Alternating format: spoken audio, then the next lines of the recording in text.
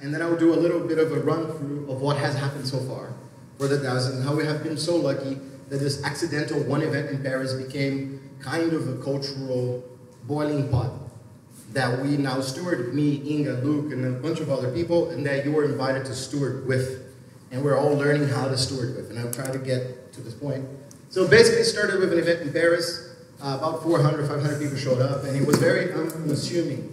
And it created this very unique vibe, and people really liked it, and I was like, okay, that was fun, let's never do that again. and then, and then Lisbon rolled around, and then people were like, you need to make another one. That was really dope. Like it was different. It had a new vibe. Like do that again. And I was like, fuck no. And I was like, but what if we give you more money this time? And then everybody kind of sponsored, and there was like an actual budget, and we rented like an actual space. And there was even some money left to buy a drone and take full aerial shots and stuff.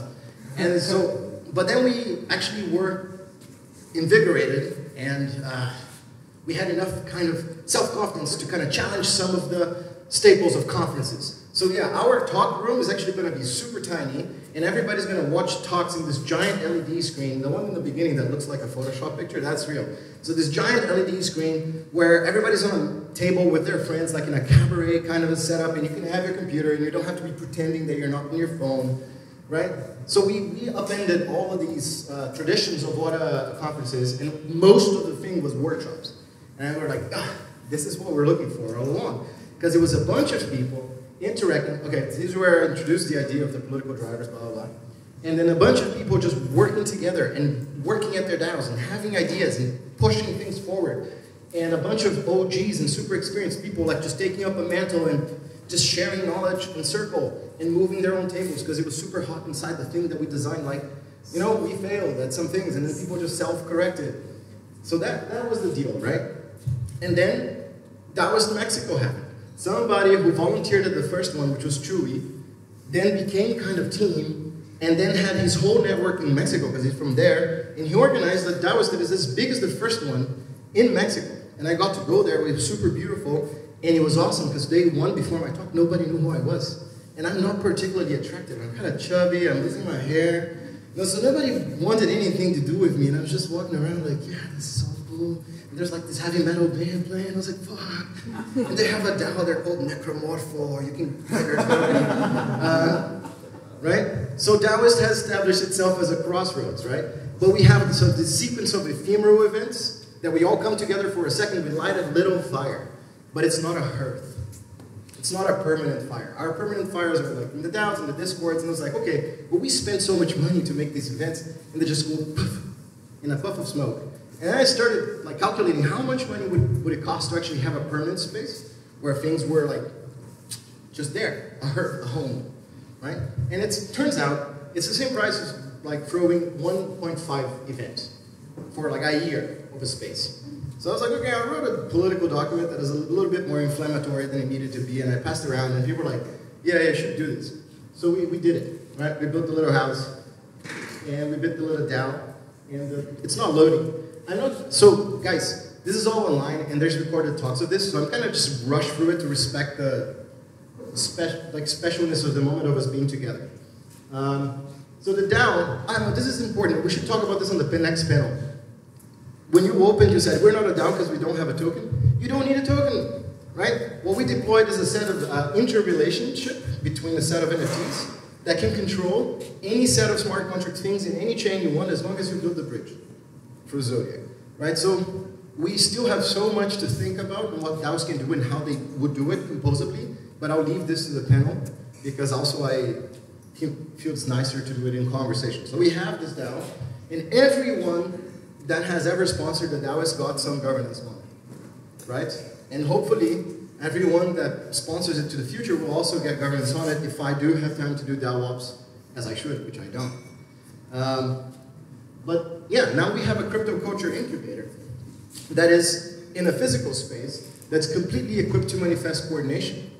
And you guys can come, actually. You can apply for a residency. Say, I have a project, I want to develop this, I want to cooperate, I want to create a cooperation between this Guatemalan artist, this Slovakian lawyer, and this uh, Ukrainian dev, and we're going to build this and this, and we want your crazy mind to facilitate our creative process. We want to go through crit sessions, we want to have it in a co-working space, we're all gonna sleep in the same place, and it's better if it has a giant pool. Yeah, it's all there. Cool. So this is the house. It happened. You know, my favorite room is the garage because I'm building a multi-directional art atelier there. Um, so you can paint, you can do ceramics, you can work with concrete and wood. So we can literally build things with our literal hands, which is an experience that I want to facilitate people who are building tech to have, right?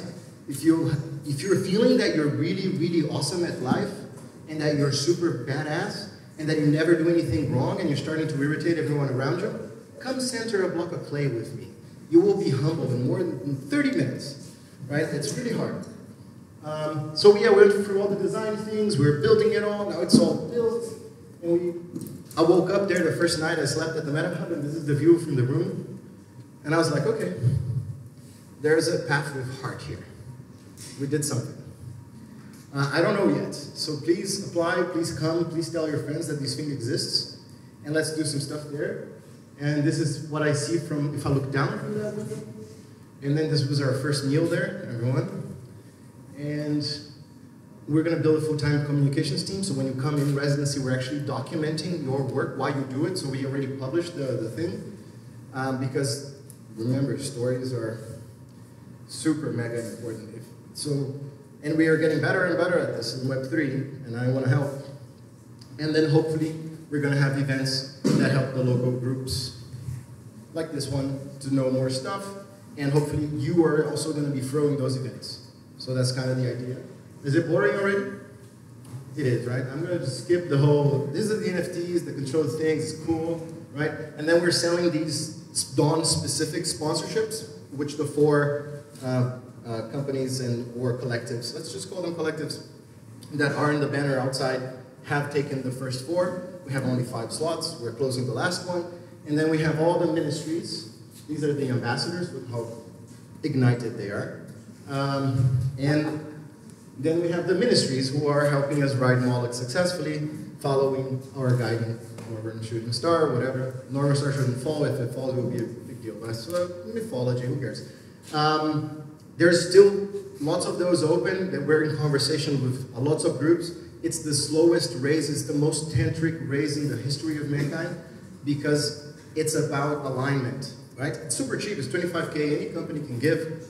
And there's a lot of them that want to give, but we want to build sort of the parliament for the Doubters. Um, this is the core team, which is six people right now. And then you have the elders. The elders are people who are invited from the community. I started at 12, and it's the first mission of the DAO, which is called Dawn to actually curate and invite the next elders. So we have these 12 elders who actually, I communicate with like Pazik daily, and they helped a lot in the building of the DAO. Um, and then we have our first like DAO approved elder, which is Loie from, from Giveth, which is super cool. Well, she's not Giveth anymore, Gitcoin. And it was super cool, and she was there, and she was at the lunch, she's at that picture, right? And now we have our next event that's coming on uh, in Amsterdam, which will be a different one. It's a very exclusive event, not for beginners, only super experienced DAO operatives, which hurts a lot to do, but I think it's important because governance intimacy and how these first mega DAOs uh, go through their growing pains, which are not small. If you, if you have any penetration in the industry and you hear here say people are bleeding for these DAOs emotionally, financially, and so we are going to create a very comfortable which we call DAO Operatives Playground, for people to just be together and get to know and co-work and co-produce, but also co-enjoy. so that's the whole thing of the Global Governance Gathering. As above, so below, flow over control. Um, lots of collective design happening on Figma boards and Miros and things like that. And okay, so this was for the Celo Connect event, but if you want to donate some Celo to our first multi-sig on Celo, because they were super excited that they built Celo Safe, so I just created one. Haven't checked actually if anybody threw any money in there. I will throw some. And then we can build some DAOs on Celo too, because I think it was super cool the event that they put together yesterday. Um, really touched by the energy and the vibe of everything. So yeah, this is it. I'm sorry for the, the giving a talk. I don't know if it's look actually I was like, oh, this, I don't know if it's appropriate, but I hope it at least brings everybody up to speed on what we did and where we want to go. And if you want to like join us, this is a list from like low engagement to high engagement types of actions you can you can take, right? So if you take a picture, you can go like, ah, I like them just this enough for this, and you pick one, um, and it will work. And that's it. Thanks. Yeah.